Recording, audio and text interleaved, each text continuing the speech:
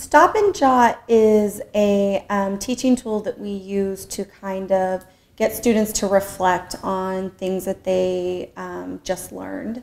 We're going through notes, they're copying it down, we're having a little bit of discussion, but then if you just stop and you tell them to write down their thoughts on a certain topic or question, um, it kind of gives them some time to absorb what they just learned and kind of also reflect on that piece. Everyone you pose a question, you know, um, like a specific question, how can we apply this?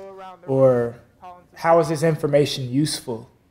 And that, that kind of gives them an opportunity to, to put what they just learned into a real world context. So it is a good opportunity for them, and I think they realize that to actually ask questions. Well, I don't know how I would apply this in real life. I don't know why we did it this way. And so I think it's just kind of rather than continuously writing notes, it, it gives them a good stopping point where they can make sure that they're following what we're doing.